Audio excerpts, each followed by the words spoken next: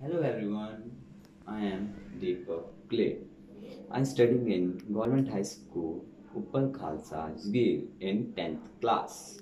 I welcome to all in the session of EBC that is English Booster Club. Today I am going to tell the different ways to say I am hungry. So let's start it.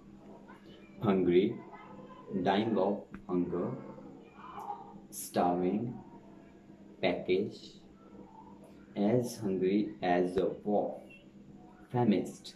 Now these words frame in sentences. I am so hungry that I could eat a horse. Alas, the poor man is dying of hunger. Isn't the lunch ready? I am starving. Oh, I am feeling a bit peckish. Give me something to eat.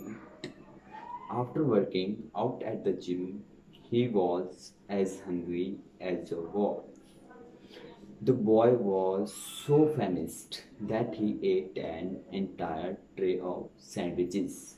So these were various the ways of to say I am hungry.